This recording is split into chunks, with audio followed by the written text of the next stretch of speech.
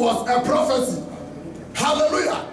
But people don't did not know that the ten is God who gave them song to them to sing. So that number 10 is the name of the Lord. So I want you to know that if you work, and the Bible says you have to give a one tenth to the Lord, you have to do so. So it because it was a commandment for God. Hallelujah. Amen. Today, I want you to come, I want to come into my message. Be strong in the Lord. Because if you are not strong, you cannot pay your tithes. Many people will deceive you. Many people will destroy your mind not to give your tithe to God, not to give your tithe to the church. But if you did not do so, the heavens will close for you. And I want you to know that if you sit under the, if you you you are under the God, and you don't pay your tithe, heaven is already closed for you. You will not receive any blessing from God. But today I want to encourage you. I want to quicken your heart for you to begin to give more and more to the Lord so that the heaven will, will be open for you. Without wasting my time, let's open our Bible to Ephesians chapter 6. Ephesians chapter 6, verse 10 to 11. And after we read John, Matthew chapter 24, verse 3 to 5. I'm reading Ephesians chapter 6, 10 to 11. He said, Finally, my brethren, be strong in the Lord and in the power of his might. Put on the whole armor of God that you may be able to stand against the wiles of the devil. Amen. Amen. Shall we quickly read also Matthew chapter 24?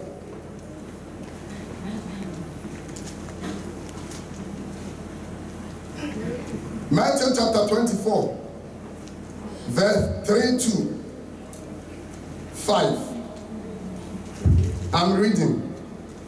Now, as he sat on the Mount, Mount of Olives, the disciples came to him privately saying, Tell us, when will these things be?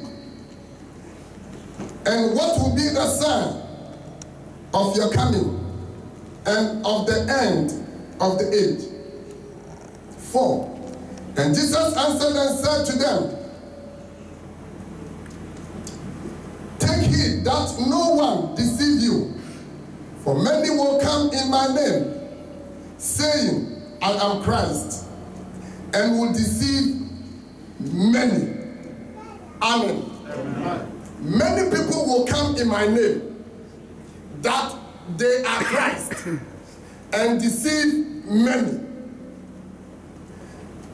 When you read, the Bible says Jesus Christ was on Mountain Olives. All the time, he told the disciples that a time will come they will not see him no more. And when he go, he will come back. But the disciple did not understand what he was saying. But one day, they want to know the day and the time Jesus will come back. But Jesus Christ told them that even him, he did not, he did not know the day. And the Bible says, Jesus Christ was on Mountain Olives. And the disciples went there and asked him, don't, if you, you don't want to tell us the day, we want to know the sign. And Jesus told them that be careful that nobody deceive you. Hallelujah. Now people are deceiving a lot of Christians. Many pastors are deceiving a lot of Christians. Many teachers are using the name of Christ to deceive many people. When you go to internet, when you go to Facebook, many leaders are saying that even to wear a, earring is not good. But Jesus Christ was telling the disciples that you have to be careful that nobody deceive you because they will come in my name. They will use my name, but they are not from me. Many people are in the church. They are deceiving a lot of Christians.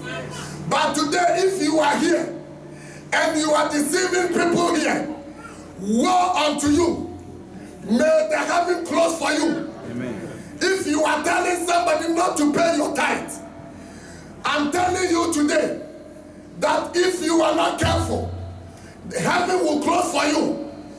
Jesus Christ told them, be careful that nobody will deceive you. What we read from Ephesians chapter 6, when Paul wrote all his scripture for Ephesians, at the end, he said, finally, be careful, be strong in Colossians, that nobody will deceive you. Because Paul knew that what he was writing is from directly from God. But he, they will have um, uh, other people to come and change what he wrote to them. So he told them that you people have to be strong. If you are not strong, what they will come and tell you, he said they, they are the wiles of the devil. What they will tell you, you may think that it is true, but it is not from God. My prayer is that today God will open your eyes. My prayer is that today God will touch your heart to know what comes from Him, to understand His word, to walk before Him. My prayer is that today God will make you strong to take decisions that come from Him because He is the one. He is the Almighty God. The Bible says when we mention His name, every knee bow and every tongue, bow, every tongue will confess that He is the Lord. This is the word of God. This is the message that comes from God. That to pay your tithe, you are not giving to anybody. You are not giving to the church. You are not giving to the leaders, but you are giving to the Almighty God. My prayer is that the year 2016, may God open heavens for you. May God touch your needs. Everything you need in life, everything you want in your hand, may God give it to you. May you understand the word of God. May you be strong in the Lord. Receive it. Hallelujah. Amen.